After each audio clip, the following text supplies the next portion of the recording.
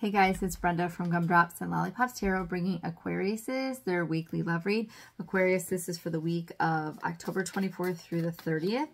Um, I put the timestamps on the videos, guys, um, just to make sure I'm getting content out. Whenever you run across this video, it's, it's meant for you to see it at that time, so it's relevant at that time. Oh, wow. Wow, Aquariuses. Wow, wow, wubsy. um, all those cards just fell out. You can watch me try to shuffle them, rewind it, and they all got like stuck in jam, so I just took them all. So um, this is uh, a timeless read. Whenever you see it is when it's meant for you. Uh, if it's also a general read. So if you feel like this is not uh, hitting the spots, if it's not making sense, check your moon or your rising signs. We're doing what's coming towards you in love. If you don't know what your moon or your rising signs are, there's a link in the description box below that you can put some information in and get your birth chart. And then there's also a link in the description box below that you could come to my personal webpage and get a personal read if you felt inclined to do so. So uh, um, what's coming towards you in love and then oracle cards and message cards um, to kind of wrap it up per usual. So Oh, Lord. I like it. I like it, Aquarius. I like it a lot. Holy smokes.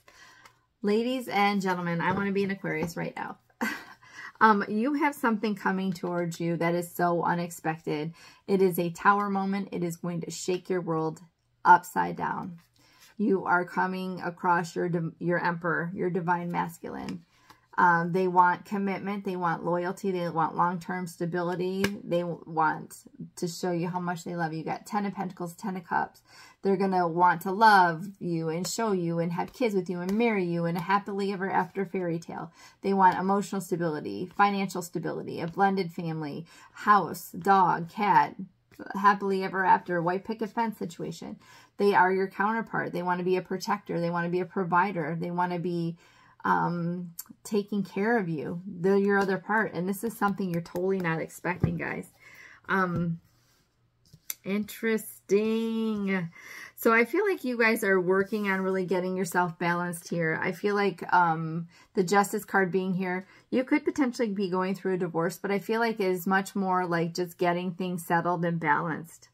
I feel like um, this has kind of been a long time coming. I feel like you've been a much more of a giver in a situation versus a receiver. And I feel like this is kind of taking a toll and you're really working on getting your needs met in a situation. You're getting yourself completely balanced. You guys, the, the tower moment is this new start in love with a soulmate energy, um, that divine masculine that's on the bottom of the deck. This is someone who is passionate with you. This, I mean, just look at the card. It's amazing. It's got so much um, romantic energy, sexual energy, just to like a soulmate vibe, passion, excitement, love. And it's a new start. It's a new start, guys. I have not clarified anybody else's read. I want to clarify, is this a new start with an old person or is this a new start with a new person? But I'm not going to do that just to be fair. Um, I do feel like you're going to get, like I said, you're going to get balanced, you're going to get stable, and this is going to be like a slow moving pace. I feel like why do we always have to wait on divine timing, right? Um, because we don't know what the heck we're doing here. And I feel like God, for my beliefs, is the one that kind of sets things up and we get what we're supposed to get, our needs met in divine timing um, you know, it's God's will. God's God's will will be done. And, um, you know, we have opportunities to take or not take, but I feel like um, he gives us the gifts that we receive in this world. But I do think it's going to take some time. It's a slow, steady pace, but this person coming toward you is extremely committed. They want a new, stable, committed, loyal, loving start. They want a marriage. They want a forever with you. Um, and they are so incredibly passionate about you. Um, could be a fire sign, doesn't have to be. This Gemini, there's Pentacles, there's the Justice card, which is Libra, there's the Tower card as well, Taurus, right? I don't remember. Um, but definitely, definitely has a lot of passion for you. There's smoldering, fiery, sexy, flirty energy. I feel like this person really will love you to pieces and give you that balance that you so desperately deserve and need, right? Like I feel like instead of you taking care of them, they're going to take care of you. And that's going to be a really different situation for you, Aquarius. I like it. I want to be an Aquarius today. All right, let's get the love and romance journey cards from Queen Sugar Tarot. lickety split. I can't believe it. I just said divine timing, guys. I said that. I said that with this king of, or knight of pentacles. Divine timing is at play. I feel like maybe now is the time. Ooh, winter. Winter is the time. Right around the corner, guys. This makes me very excited for you. Strength and courage. Yeah, this is another fire sign or another potential Leo, right? We got two lions there. But I think this situation is going to require you to use your strength to be courageous because you're not used to standing up for yourself. You're used to catering to the other person. And now you're like, look, this is my new pathway. I need my needs met. I want to be in this situation, but I need to take control and make sure I'm not unbalanced anymore. This needs to be a balanced situation. We both need to work on it. We both need to want it. Um, annoyance popped out. Um, I feel like you're you're probably worried that someone's going to see that as an annoyance. But if you're with your soulmate, they're going to understand that. And I think you're going to have conversations about your past and about what you've done and like what's been given to you and what's happened to you. And your soulmate's going to totally understand where you're coming from. They might help you work through it, but they're going to get it. All right, guys, let's get some messages of love oracle cards from All Things Intuitive.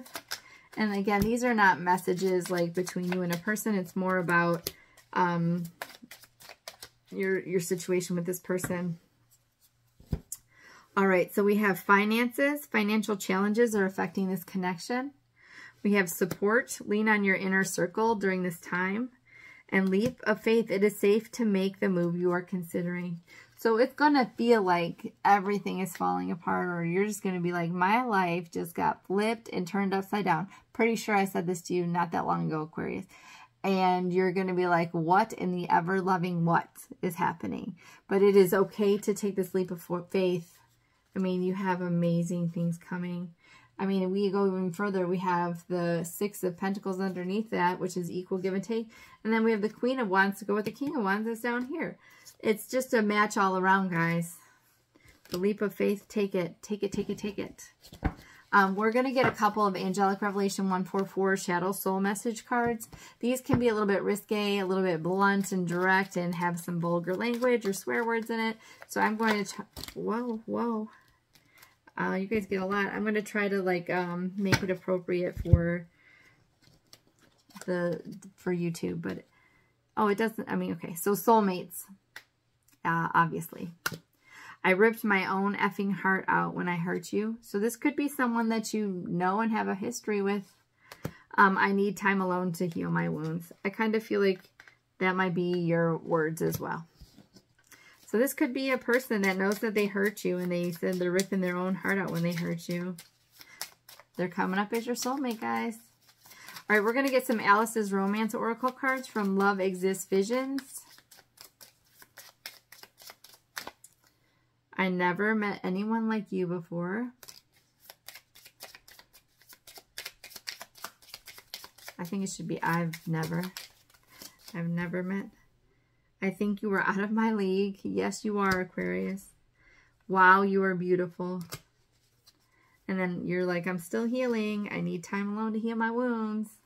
Um, but they're not going to care. They're going to come in like that tower, and then you're going to have to figure out what in the world you're going to do. All right, we're going to finish off your read, Aquariuses, with a Higher Intuitions Oracle card.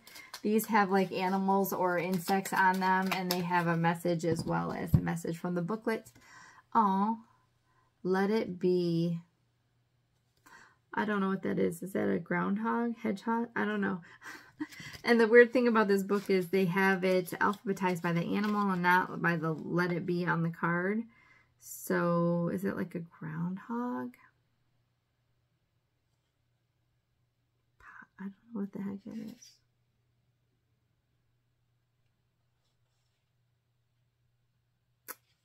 It's a hedgehog. Hedgehog. Let it be. Okay, so I'm going to read that. Sorry. Page 63. Okay. So the words say release and time out. And there is um, there is a quote by Ralph Waldo Emerson. With the past I have nothing to do, nor the, with the future I live now. Hedgehog reminds you to stop putting so much fear into your life and instead just let it be. Sometimes when you give your issue breathing room, it corrects itself. When we experience fear or frustration, we immediately tense up our body, mind, and spirit, which hinders the flow of what we want of what we do want to come to us. And we begin to visualize everything that we don't want instead of what we do. Shift your thoughts to what you want, not what you don't. There is a lesson in every life's test, every life test, even though it can be painful. By being grateful instead of angry, the weight of the emotion will begin to gently heal. Again, healing is in here as well, and release itself from your grip. Therefore, if you're experiencing frustration or fear with any aspect of your life, career, money, love, etc., take a few moments each day visualizing how you would want that area to look when you begin to say, or how you want that area to look, period. Sorry. When you begin to say negative things such as, I will never have money to do things I want, and say to yourself, stop, and then repeat what you do want. I have enough money to do the things I want. It takes some training, but before you know it, the things you don't want will stop happening, will begin to stop happening, and the things that you do want will start flowing. You can't hitchhike on someone else's life, and if you do, you might just get pricked instead from the hedgehog. Um, you must find your own way and do the work yourself. There's always someone there to help light the lantern, but it is you who must keep the flame lit. Always know that they are though there are those who believe in you. With every dream accomplished, or every even or even a dream failed, remember that the most important thing for you is to continually dream the dream, no matter what. So keep dreaming, Aquarius. You got great things coming for you. You have abundance like abundance on top of abundance on top. That was out of order. Abundance on top of abundance on top of abundance coming towards you in love. Thank you guys so much for watching. If you feel inclined to do so, please like, share, comment, and subscribe. I appreciate you all so much. Thank you, thank you, thank you. Good night.